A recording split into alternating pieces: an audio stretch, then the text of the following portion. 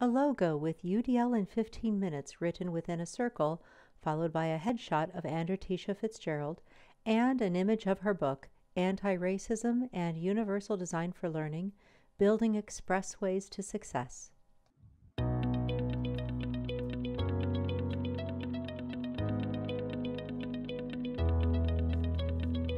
Hello, and welcome to UDL in 15 Minutes, where educators discuss their experiences with UDL. I'm Loui Lord Nelson, UDL author and leader. Today, I'm talking with Andretesha Fitzgerald, who is the Director of Human Resources for the East Cleveland City School District in Cleveland, Ohio. Today, Tisha is going to share how her connections with her students have continued to build community around the country. Hey, Tisha, how are you? Doing great. How are you, Loui? Oh, I'm good. I'm good. Thank you so much. So, first off, I'm just going to say congratulations on your book, Anti Racism and Universal Design for Learning. It has been a gift to everyone. So, thank you so much. Thank you. You're welcome. And then, can you share a little bit about East Cleveland City School District? East Cleveland East is Cleveland a little city, city uh, inner ring suburb right outside of Cleveland, Ohio. Um, historically speaking, it was the home of John D. Rockefeller and Millionaires Row many years ago. And it's a city that's seen its share of glory and gory.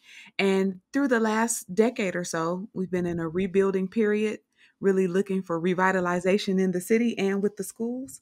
Um, as far as the student population, it's about 99% African American.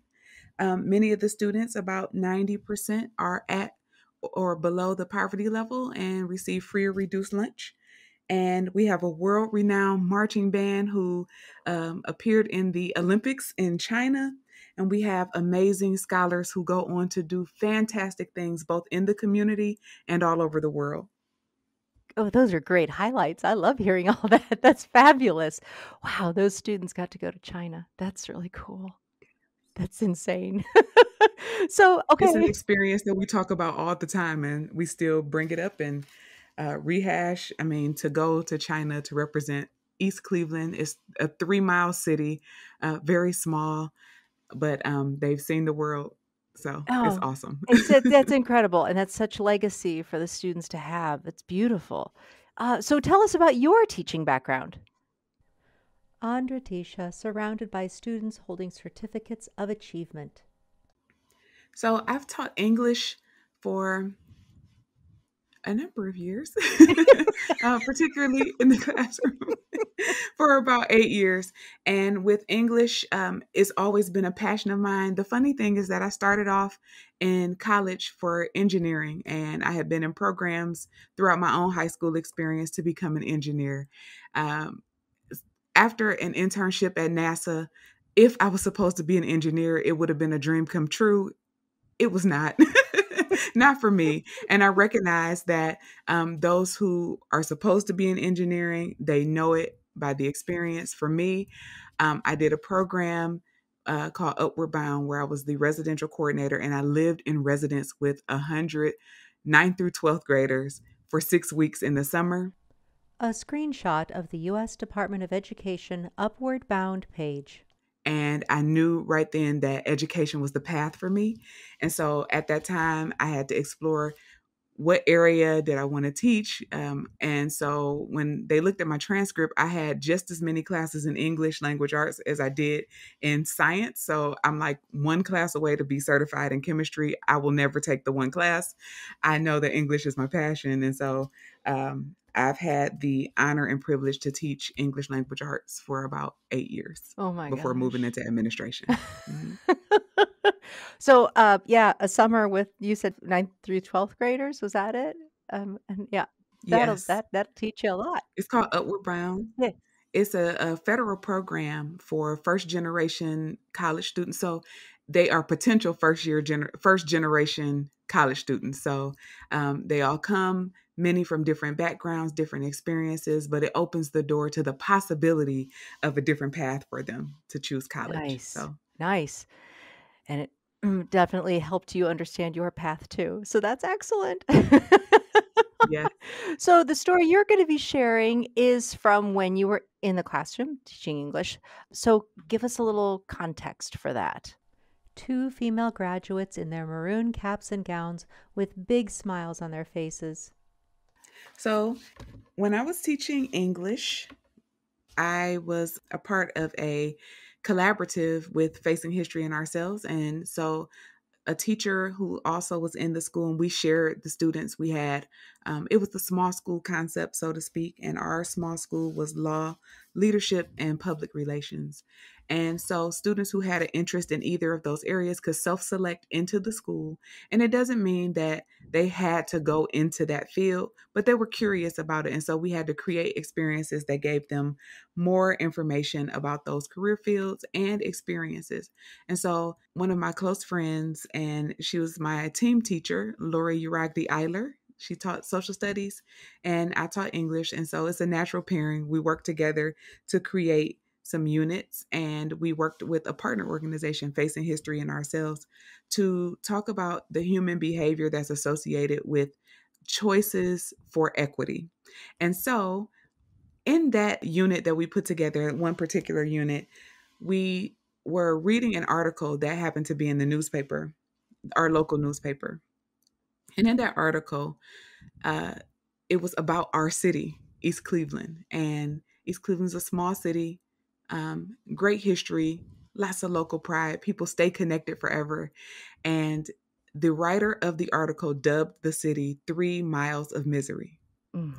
And as we were reading that, um, the students started to question why do people see our city this way? Why do they identify our city as miserable? What is it about us because it's personal when you talk about a city. It's personal when you make these statements about children and where they live. Um, why is it that we are seen this way? And then the question quickly turned into what can we do about it? A panel of adults speaking to the class. And so at the end of our Facing History um, uh, cycle that we were going through, there is an option called choosing to participate. And so every learner on our team chose an issue, a problem, something that they saw um, in their city. And so they identified the problem, maybe a couple of problems that were um, overlapping. And they took the time to think about okay, here's the problem that I would like to focus on, or here's the issue that I am going to raise. And then they decided that they wanted to do a letter writing campaign. And with this decision, uh, we were able to, um, and you know, thinking about the UDL framework, and you think about recruiting interest. They identify an issue that was important to them. For some of them, it was potholes on certain streets. For some, it was street lights. For some, it was gang violence. For some, it was lunch choices in the cafeteria. The principle of engagement with the guidelines and checkpoints listed. Um, whatever it was, it was something that was important to them. And so when you think about the individual choice and autonomy, um, it automatically minimizes threats when the choice is your own. And so every student chose, and we did not deny any idea. Of course, we had conversations to refine them because the next step was to then identify who in the world, not just in our city, not just in our sphere of influence, but who in the world could do something about the issue, could bring about change in any way, shape, or form? And so, as a teacher, um, and any teacher will understand this uh, fear when your students identify the school board president as the person that they're going to write to, uh, or the superintendent, or the state superintendent, um, or the president of the United States. So, what was a great idea at the onset that I was cheering on quickly turned into is this going to cost me my job? Worth the risk. Worth the risk every time. The principle of action and expression with the guidelines and checkpoints listed. Um, and so they took on this task of reaching out all over the world to different entities who they felt could make a difference about their issue. And so they wrote these letters. And the funny thing is that as an English teacher, of course, um, in other methods of teaching, I always had to push them to check for grammar and mechanics. But because the audience was authentic, they wanted to send out the best product possible. They took such pride in crafting these letters that would reach the audience. They weren't sure if the person would actually open them or read them or if the eyes they intended were the ones that w- they would actually reach. But what I found was that there was such ownership, uh, such an urgency. They made deadlines for themselves. They were motivated to complete the assignment because the assignment was for more than just my eyes. And so as we paused and and poured over every letter, um, they had not only my team teacher and I, but they went to different individuals in the school. They went to other teachers, they went to other students, they went to, you know, senior class members, they went to people in their community, they went to their parents and brought them into this. They said, I am going to do something about fill in the blank. And they chose their words carefully. They crafted these projects in ways that there was a light bulb that came on for them, but also for me as a learner to see what makes them tick, what works for them. And when they can shape society and make a difference to a maybe a writer who would never even read their words, the one who dubbed the city Three Miles of Misery, it was just so beautiful to see that that light come on. So they wrote the letters, they gave each other feedback, and then the moment of truth was when we put them in the envelopes and stamped them and sent them out to the world. Community leadership posing for a group photo in the classroom. I was terrified and excited all at the same time, and so were they. And I just remember uh, one of my students, Travis, saying, They better write back. and I told them, uh, you know, as we were going through the project and working on the assignment, there's no guarantee that who you want to receive it will receive it. Maybe someone else will. You may get a response, you may not. And then we began to talk about, well, what will happen if you do get a response? What happens when your words are taken seriously? And when we talk about the power of voice, the most energy that we can put behind the power of the voice or the way that we can honor the voice most is to release their voices to the world. Maybe it's through a blog, mm-hmm. maybe it's through a letter writing campaign, maybe it's through a video, but to take the four walls of the classroom or even the virtual classroom, the four box walls of Zoom, maybe, take those off and release their brilliance to the world. And I have not been so proud as a teacher as I was for that project. And the magic happened um, maybe two weeks after we released the letters, we started to get the responses. They made the decision that they would open their letters in class. So when the letters would come to the school, we would bring them into the classroom. They would sit and wait for the learners for that period to come together and they would read their letters out loud. And I was so amazed at who responded and who didn't. so uh, we had letters from Tavis Smiley, who is an activist and um, a, um, yeah. a, TV personality. We had responses so from powerful. the president of the United States sent a form letter back. Hey, it's a form letter. We'll take it. Yeah. We had responses from council people and school board members. And um, there was one, uh, Travis, the one who said he better write back.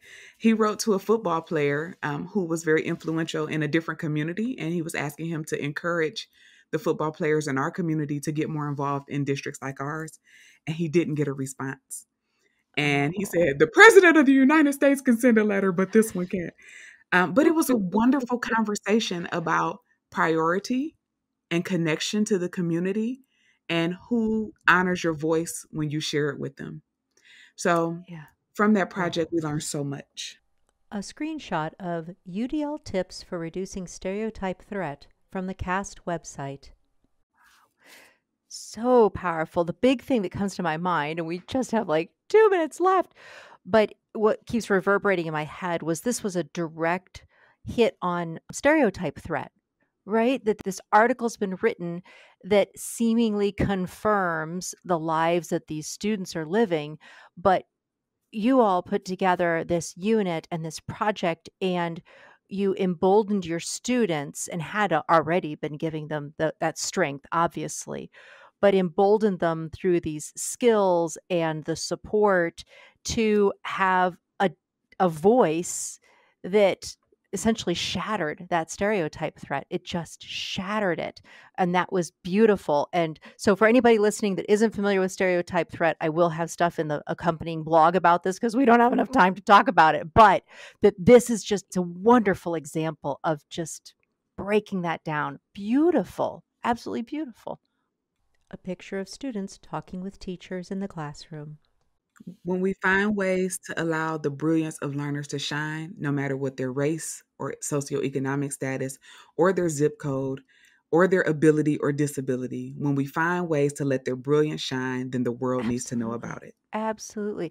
And and like you were saying, eh, we let the world know about it, but then as our students are speaking that out to the world, it reverberates back to them with such strength. And I love that you all had those conversations to say, you know what?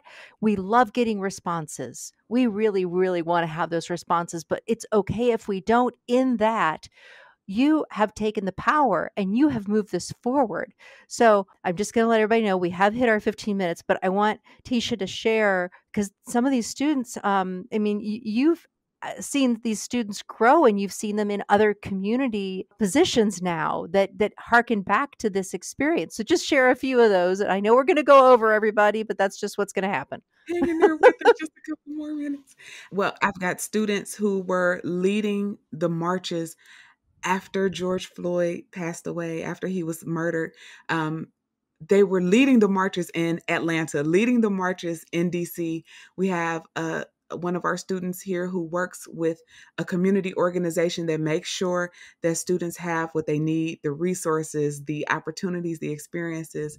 Um, we have many of our students who have gone on to become lawyers who fight for civil rights every day, and one who works um, with a local organization for women's rights, particularly women's reproductive rights. So, from that experience, to find a way to that their voice matter, number one, that when you speak, your voice will be heard, and that there's a way that you can craft your message that will make people aware of inequities and do something about them. And I'm still watching them. I'm still amazed. I'm still awestruck. They are growing every single day and they are changing the world. A photo of Andretesha with a mentor of hers. Oh, it's so wonderful. What a beautiful story. Thank you. And I know you have so many others, and you've gifted us all with your book and sharing some of them in there, but um, you, I, I know you have a slew of them. So thank you for taking your time today to share this one with our audience. Thank you so much. Thank you, Loui. Thank you for having me. Oh, you're welcome. You're welcome. Screen captures of the UDLapproach.com website, followed by the UDL in 15 minutes logo. So, for those listening to this podcast, you can find supplemental materials like an image montage with closed captioning, that montage with audio descriptions, a transcript, and an associated blog at my website, which is the udlapproach.com forward slash podcasts. And finally, if you have a story to share about UDL implementation for UDL in 15 minutes, you can contact me through the udlapproach.com. And thanks to everyone for your work in revolutionizing education through UDL and making it our goal to develop expert learners.